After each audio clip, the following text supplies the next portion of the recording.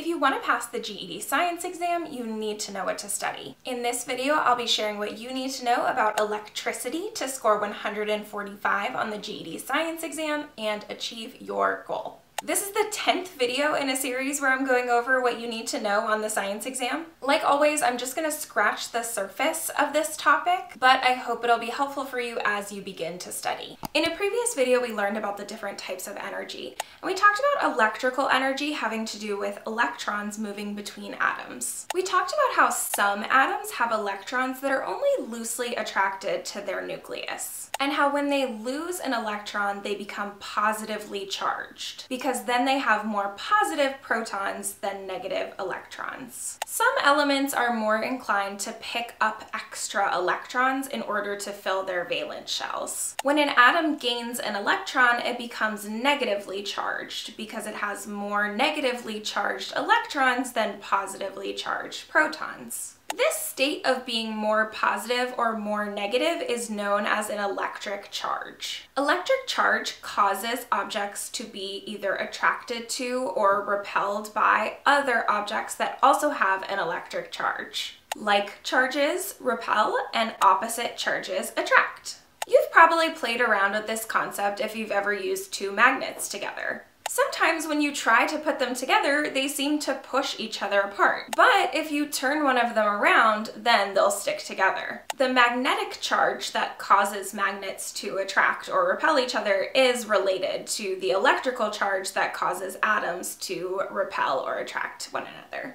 Electric current is what we call the movement of charged particles. When the current travels in one direction, that's called a direct current. When it flows back and forth, that's called an alternating current. When you turn on a lamp that's plugged into a wall, you're using alternating current. When you use a flashlight powered by a battery, you're using direct current. When you plug your phone or your laptop into a wall charger, the charger is transforming the alternating current into direct current in order to charge your device's battery. Materials that electrons flow through easily are called conductors. Examples of good conductors are metals like copper and steel. Materials that electrons cannot flow through easily are called insulators. Examples of materials that are good insulators are rubber, plastic, and glass. Other materials called semiconductors have a conductivity that's between conductor and insulator. These materials, like silicon, are used to make circuits in devices like cell phones and laptops and other electronics.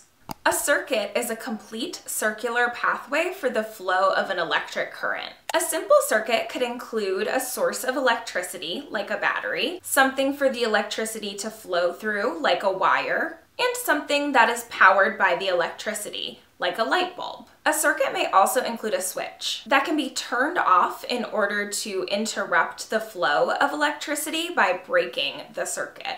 What's called static electricity can occur when two objects are rubbed together. Think about dragging your feet in socks on a carpet. When the objects are moved together, both objects can acquire an equal opposite charge. The atoms in your body strip away the electrons from the atoms in the carpet. So the body acquires a negative charge and the carpet acquires a positive charge. If the electron receiving item is insulated or isolated in some way, the electrons have nowhere to go. This can result in a buildup of electric charge that we call static electricity. Static is a word that means not moving. However, when you touch something that the electrons can travel through, like a doorknob, they will jump suddenly to that object as current electricity. And you will experience that as a shock. You may also notice that your hair will stand up as you approach something that you could be shocked by touching. This is because the like charges of the accumulated electrons are repelling one another. So they are traveling to the extremities or the furthest part of your body like individual strands of hair. Lightning is also another effect of static electricity. Clouds can accumulate a buildup of electric charge when small particles of hail are rubbing against each other as they form and grow. The air surrounding the cloud and within the cloud is insulating the charge from being discharged. But when the buildup becomes big enough, it can overcome that insulation in order to be discharged either between the clouds or between the cloud and the ground.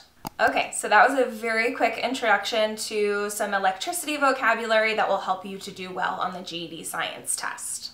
Of course, there's a lot more to learn about this topic, so I definitely recommend that you spend some time with print materials like the Kaplan GED Prep Book and online materials like Crash Course and Khan Academy. But remember, you're not trying to become a physics expert, you are just trying to become familiar with the vocabulary so that you can feel confident when you take the test. On this channel, I make videos about how to study more effectively so that you can achieve your goals. And coming up, I have more videos about physics, earth, and space science to finish up the GED science series. There are also videos about all three of the other subjects, so please check those out if you are studying for the GED exams. If this video was helpful for you, please press the like button. That helps YouTube to know that this is a great resource for studiers. It's your support that allows me to make these resources, so thank you as always for watching, and until next time, happy studying.